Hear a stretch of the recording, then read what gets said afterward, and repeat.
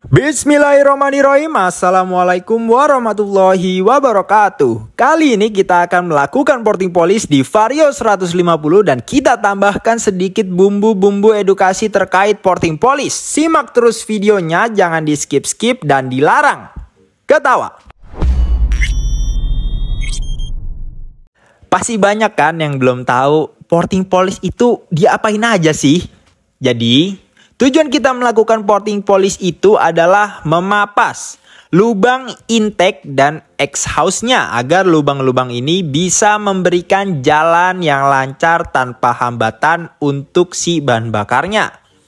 Terus mungkin banyak dari teman-teman yang bingung setelah intake dan exhaustnya udah lancar nih tanpa hambatan, terus kenapa gitu?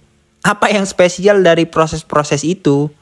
Jadi, Kelebihan yang akan kita dapatkan adalah performa motor akan lebih enak karena saluran masuk dan keluarnya bahan bakarnya tadi tuh jadi lebih optimal dari yang sebelumnya.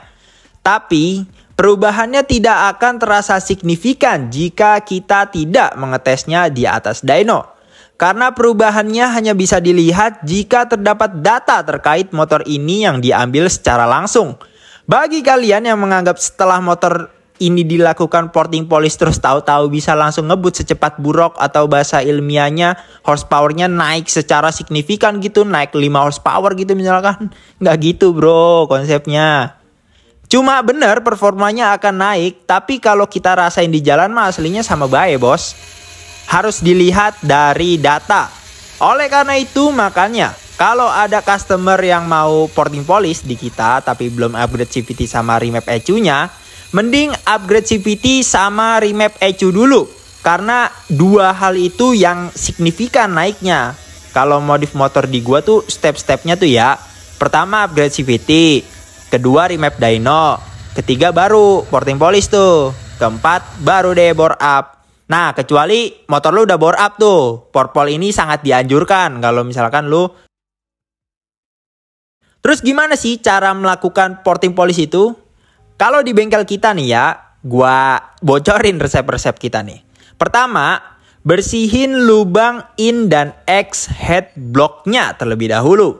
Lalu siapkan mata bor tuner ukuran 3 mili dan 6 mili.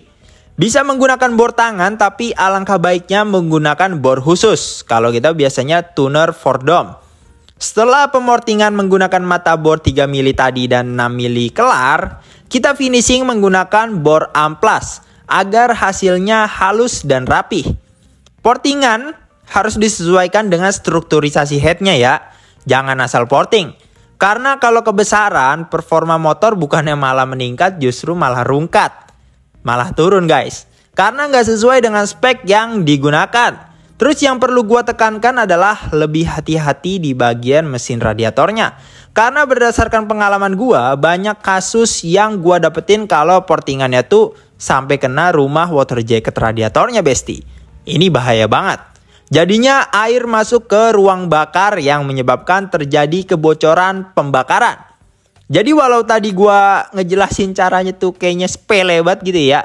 Tapi ketelitian dan tingkat jam terbangnya harus tinggi banget nih Besti untuk melakukan porting polish ini agar hasil porting ini bisa maksimal. Oh ya, untuk motor mesin standar biasanya diameter lubangnya gua besarin sebanyak 1 mili. Jika sudah upgrade ke klep lebih besar, maka itu harus disesuaikan dengan klepnya besti. Harus ada hitung-hitungannya. Jadi sekalian aja gua ajarin cara hitung-hitungannya. Misal nih ya, lubang masuknya atau lubang innya gua tuh biasanya tuh idealnya ya 80 sampai 90% dari ukuran klepnya dan 100% untuk klep X-nya.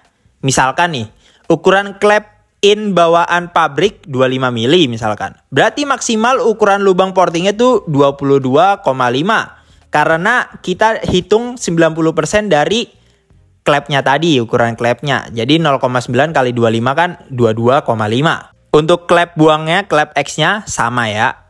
Jadi kurang lebih seperti itu cara gua untuk mengukur sebanyak apa gua memapas itu lubang. Biaya porpol di gua itu 750 ribu ya. Auto Jos. Terus cara menentukan porpol yang bagus gimana sih? Nah, cara menentukannya yaitu dari bentuk yang sesuai serta ukurannya yang tadi gue jelasin di atas tuh. Terus apa yang terjadi kalau porpol ini gagal? Secara otomatis performa mesinnya akan menurun karena tidak sesuai dengan spesifikasi mesinnya guys. Itu yang mendingannya kalau yang parahnya ya tadi water jacketnya bocor. Bahaya guys, makanya harus profesional. Oke itu semua tadi cara gue gimana caranya melakukan porting polish. Semoga bermanfaat ya Besti. Oke, karena kita sudah berada di penghujung acara, langsung saja saya ucapkan terima kasih banyak sudah menonton. Jangan lupa like, komen, dan share video ini agar saya bisa mengedukasi kalian lebih jauh lagi. Dan jangan lupa subreknya, karena amalan zaman sekarang yang paling mudah selain senyum adalah subrek. Tinggal klik tombol subreknya dan kalian sudah bisa mengklaim pahala kalian. Thanks for watching and I'll see you on the next content. Salam Jos Ngeng Jospar. Wassalamualaikum warahmatullahi wabarakatuh.